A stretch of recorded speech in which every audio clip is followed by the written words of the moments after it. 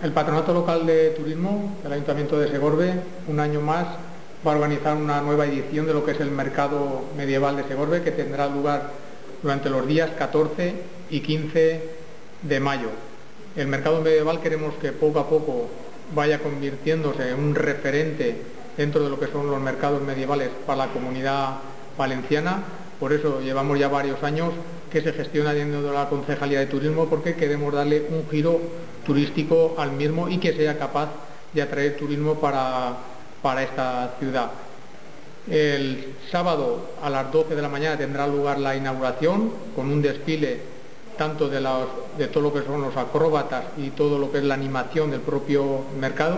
como con distintas asociaciones, las cortes de aquí, la Reina Mayor Infantil de Segorbe, la tamborica de, de Cárrica y toda la gente que se quiera sumar a este desfile inaugural que tendrá lugar desde el ayuntamiento hasta el corazón del mercado medieval que será la Plaza del Ángel, donde tendrá lugar la, inauguración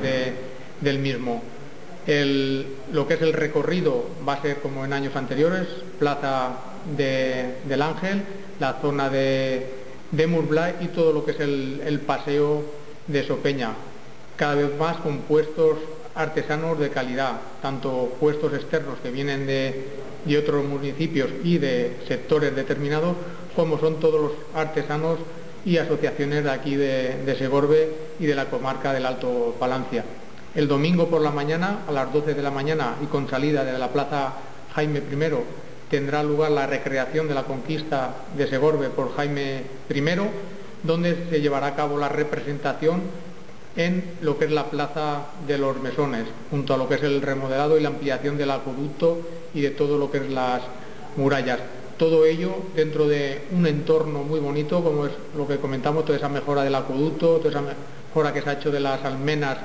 de la, de la muralla, y eso lo esperamos porque salga un fin de semana con buenas temperaturas Vamos a hacer una fuerte promoción por todo lo que es la zona de la comunidad valenciana, especialmente por la zona de, Valencia, zona metropolitana, zona de Sagunto y todo lo que es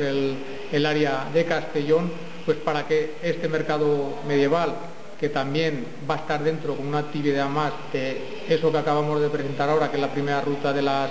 de las tapas, pues que con todas estas actividades que va haciendo el ayuntamiento sirvan para dinamizar esa economía y ese comercio local en estos momentos tan difíciles en los que nos encontramos y que cada cosa que se organiza dentro de las distintas concejalías sume y aporte un grano para, como decía, eh, reactivar la economía y el sector comercial de aquí de ese orden.